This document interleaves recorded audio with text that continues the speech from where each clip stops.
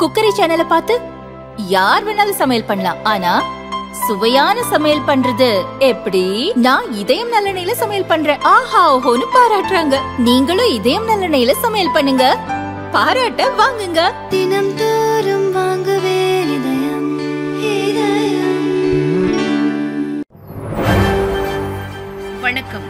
செய்திச் சுருக்கம் கிண்டி மருத்துவமனையில் டாக்டருக்கு கத்திக்குத்து பரபரப்பான சம்பவம்.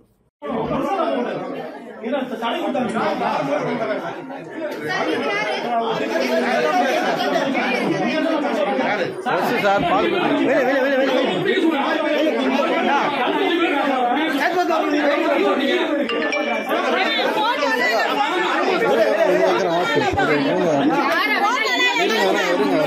நீ போகணுமா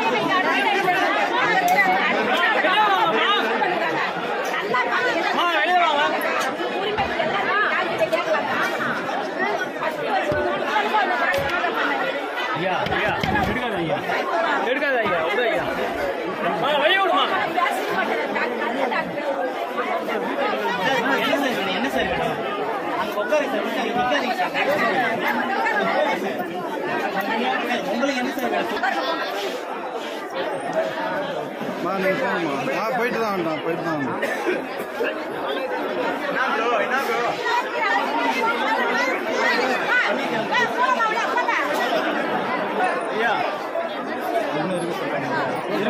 யார் யார்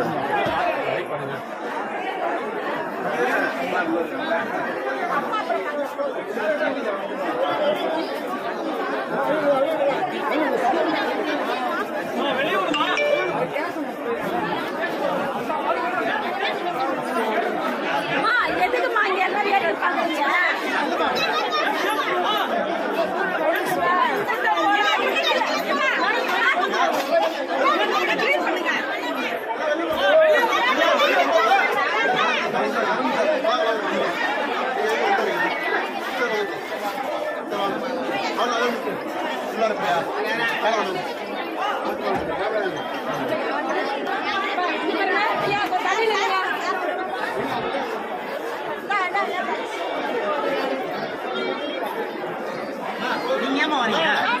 நீங்க வெளிய போங்க மேடம் வெளிய போயிடுங்க நீங்க வெளிய சார் சார் உங்களுக்கு என்ன சார் சார் என்ன சார் வேணும்? சார் சொன்னதான் சார் வீடியோ எடுக்காதுன்னு சொல்லிட்டாச்சு சார். ஏங்கல் எடுக்கக்கூடாது? எடுக்க கூடாதுன்னு நான் நீங்க என்ன சொல்ல முடியாது. நான் பிரஸ் நான் நீங்க சொல்லவே முடியாது. சரி பிடிக்க வந்து பிடிக்க அதுதான் சொல்றேன். என்ன கேட்கவும் சார் முடியாது. கொஞ்சம் இன்னொரு அஞ்சு பேர் இருக்காங்க. அவங்க எங்க கிளம்பணும் அப்ப அது நான் அது வேலை கிடையாது. அது வேலையா? என் அதுதான்.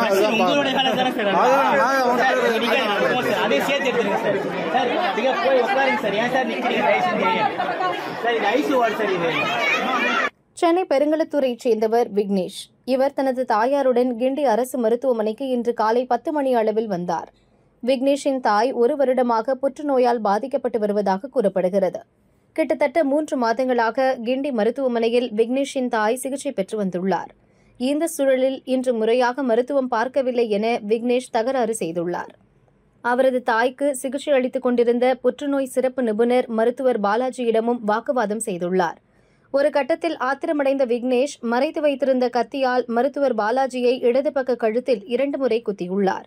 இரத்த வெள்ளத்தில் சரிந்த பாலாஜியை சக மருத்துவர்கள் மீட்டனர். அங்கிருந்து தப்பி செல்ல முயன்ற விக்னேஷை பொதுமக்கள் மடக்கி பிடித்து கிண்டி போலீசாரிடம் ஒப்படைத்தனர். மருத்துவர் பாலாஜிக்கு ஐசியூவில் சிகிச்சை அளிக்கப்பட்டு வருகிறது. கத்திக்குத்து சம்பவத்தால் மருத்துவமனை வளாகமே பரபரப்பாக காட்சியளித்தது. விக்னேஷிடம் கிண்டி போலீசார் தொடர் விசாரணை நடத்தி வருகின்றனர்.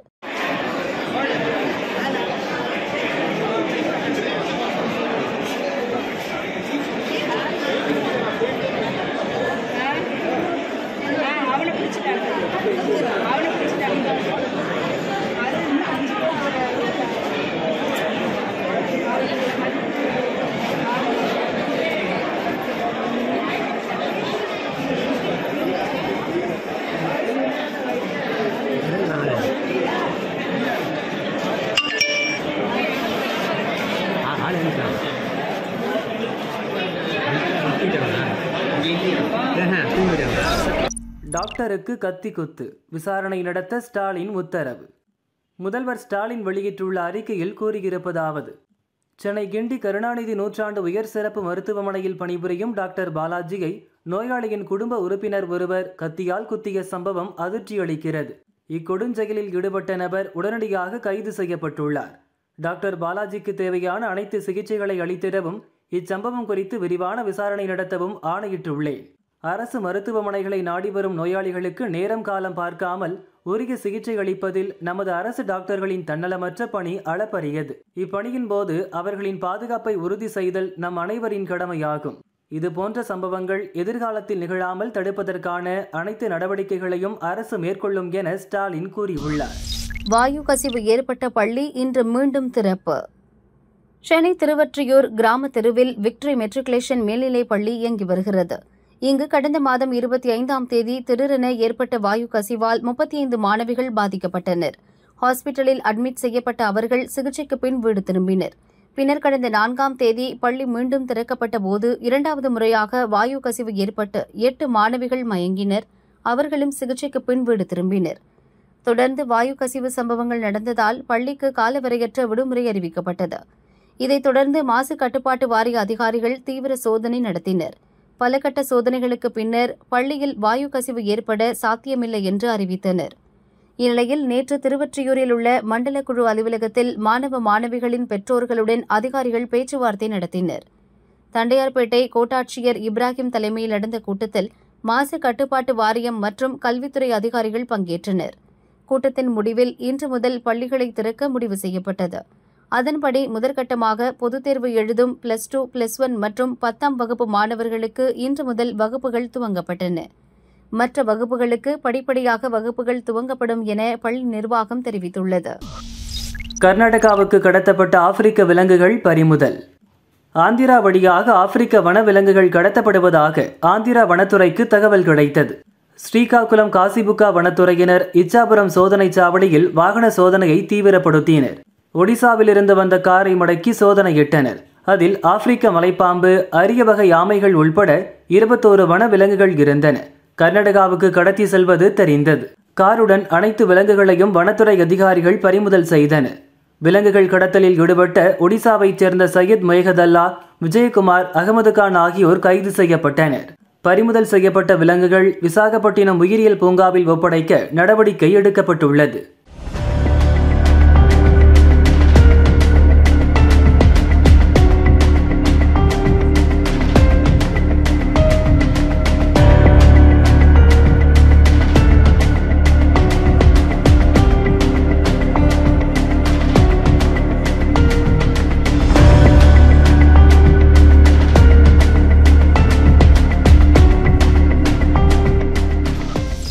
செலவுகள் குறைக்க அமெரிக்காவில் அதிரடி. Elon Vivek entry.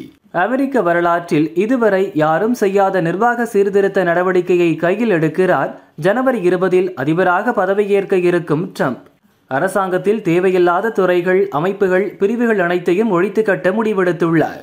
இதன் விளைவாக ஆயிரக்கணக்கான அதிகாரிகள் ஊழியர்கள் வேலை இழப்பார்கள். ஆனால் அரசுக்கு மிகப்பெரிய அளவில் செலவு குறையும்.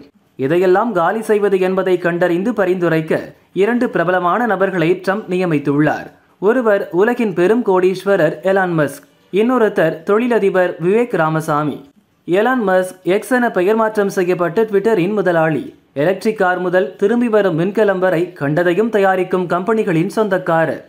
விவேக் இந்திய வம்சாவளி அமெரிக்கர். அதிபர் தேர்தலில் குடியரசுக் கட்சியின் வேட்பாளராக போட்டியிட ட்ரம்புடன் மோதியவர். அது சாத்தியமில்லை என தெரிந்ததும் ட்ரம்புக்கு ஆதரவை அறிவித்து அவர் பின்னால் நின்றவர். வேண்டாத துறைகளை எல்லாம் இழுத்து மூடினாலே அமெரிக்க அரசாங்கம் சிறப்பாக செயல்படும் என்று நீண்ட காலமாக சொல்லி வருகிறார் விவேக். ஹாலிவுட் படங்கள் மூலமாக உலகம் முழுவதும் பிரபலமான அமெரிக்க புலனாய்வு அமைப்பான எஃபிஐ விவேக் ஒழிக்க விரும்பும் அமைப்புகளில் முதன்மையானது. கல்வி இலாக்கா அணுசக்தி கட்டுப்பாடு ஆணையம் ஆகியவையும் விவேக் லிஸ்டில் அடக்கம். நானும் விவேக்கும் செய்யப்போகும் வேலைகளை நினைத்தாலே நிறைய பேருக்கு குலை நடுங்கும் என்கிறார் எலான் மஸ்க். இந்த இரட்டையர்கள் அரசாங்கத்துக்கு வெளியே இருந்து வேலை செய்வார்கள் என்கிறார் ட்ரம்ப். அரசு சம்பளம் சலுகை எதையும் அவர்கள் பெறமாட்டார்கள் என்ற அர்த்தத்தில் அப்படி சொல்லியிருக்கலாம். ஆனால் இருவரும் நடத்தும் ஏராளமான நிறுவனங்கள் அரசாங்க வேலைகளுக்கான கான்ட்ராக்டுகளை நிறையவே எடுத்து செய்கின்றன. எனவே கான்ஃப்ளிக்ட் ஆஃப் இன்ட்ரெஸ்ட் என சொல்லப்படும் இந்த முரண்பாடு சட்ட சிக்கலை உண்டாக்குமா என்று தெரியவில்லை. எலன் விவேக் இருவருமே அதி புத்திசாலிகள் என்பதால் அவர்கள் செய்யும் பரிந்துரைகள் உலக நாடுகளுக்கு முன்மாதிரியாக இருக்கும் என எதிர்பார்க்கலாம். அரசாங்கத்தையே தலைகீழாக புரட்டி போடுவது என்பார்களே அந்த ரகம். நேரில் ஆஜராக வேண்டும். தோனிக்கு ஹைகோர்ட் உத்தரவு. இந்திய கிரிக்கெட் அணியின் முன்னாள் கேப்டன் மகேந்திர சிங் தோனி ஐபிஎல் தொடரில் மட்டும் விளையாடி வருகிறார். ஆர்கா ஸ்போர்ட்ஸ் அண்ட் மேனேஜ்மெண்ட் நிறுவனத்தின் இயக்குநர்கள் மிகிர் திவாகர் சௌமியா தாஸ் ஆகியோர் தோனியுடன் இணைந்து கிரிக்கெட் அகாடமிகளை திறக்க ஒப்பந்தம் செய்தனர். அவர்கள் தன்னை ஏமாற்றி விட்டதாக இருவர் மீதும் தோனி கடந்த ஜனவரி ஐந்தாம் தேதி ராஞ்சியில் உள்ள ஜுடிஷியல் மேஜிஸ்ட்ரேட் கோர்ட்டில் வழக்கு தொடர்ந்தார். இரண்டாயிரத்தி இருபத்தி ஓராம் ஆண்டில் அவர்களுடனான ஒப்பந்தத்தை ரத்து செய்துவிட்டேன். அதன் பிறகும் தனது பெயரை பயன்படுத்தி கிரிக்கெட் அகாடமிகளை தொடர்ந்து திறந்து பதினைந்து கோடி ரூபாய் மோசடி செய்துவிட்டனர் என மனுவில் தோனி கூறியிருந்தார். இந்த வழக்கை கோர்ட் விசாரணைக்கு ஏற்றது. இந்நிலையில் ராஞ்சி கோர்ட் தங்கள் மீதான வழக்கை விசாரணைக்கு எடுத்ததை எதிர்த்து திவாகரும் சௌமியதாசும் ஜார்க்கண்ட் ஹைகோர்ட்டில் மனு தாக்கல் செய்தனர். இந்த வழக்கை விசாரித்த நீதிபதிகள் தோனி நேரில் ஆஜராகி தனது நிலைப்பாட்டை விளக்க வேண்டும் என உத்தரவிட்டனர். ஸ்டேரிங்கை பிடித்துக்கொண்டே பேக்கில் கைவிட்ட டிரைவர் காட்டிக் கொடுத்த வீடியோ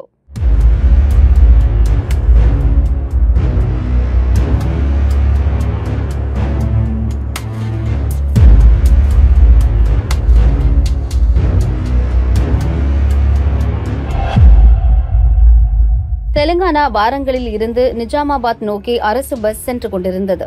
பஸ்ஸில் கூட்டம் அதிகமாக இருந்ததால் அதில் பயணித்த பெண் ஒருவர் தனது பையை டிரைவர் சீட்டுக்கு அருகில் வைத்தார்.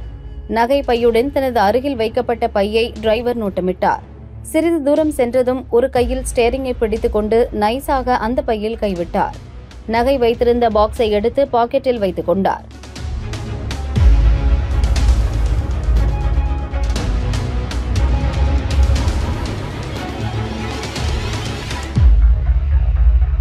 யாரும் கவனிக்கவில்லை என நினைத்த டிரைவருக்கு அதிர்ச்சி காத்திருந்தது. பின்னால் இருந்த சக பயணி ஒருவர் இந்த சம்பவத்தை வீடியோ பதிவு செய்தார். ஸ்டாப் வந்ததும் இறங்க தயாரான பெண் பயணி நகையை காணவில்லை என கூச்சலிட்டார். வீடியோ ஆதாரத்துடன் டிரைவர் வசமாக சிக்கினார். கீழே விழுந்ததை எடுத்து வைத்ததாக சமாளித்த டிரைவர் வீடியோவை காட்டியதும் மன்னிப்பு கேட்டார். అవే మేడం పరుసులకు వెళ్ళి తీసుకొని చెంప వాళ్ళ కొట్టడానికి ఒకసారి ఏమనుకున్నాను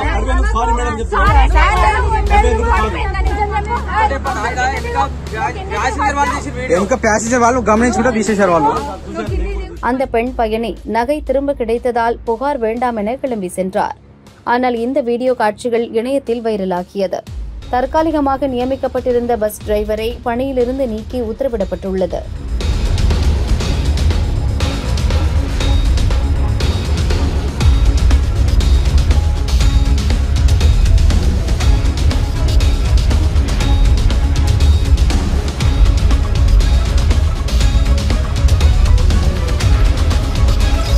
கைசிக துவாதசி விழா சீனிவாசமூர்த்தி வீதி உலா. திருப்பதி ஏழுமலையான் கோவிலில் இன்று கைசிக துவாதசியை முன்னிட்டு சூரிய உதயத்திற்கு முன்பாக ஸ்ரீதேவி பூதேவி தாயார்களுடன் உக்கர சீனிவாசமூர்த்தி சிறப்பு அலங்காரத்தில் எழுந்தருளினார். தாயார்களுடன் நான்கு மாட வீதியில் உலா வந்து அருள் பாலித்தார். அதைத் தொடர்ந்து கருடாழ்வார் சன்னதி அருகே கைசிக துவாதசி ஆஸ்தானம் நடைபெற்றது.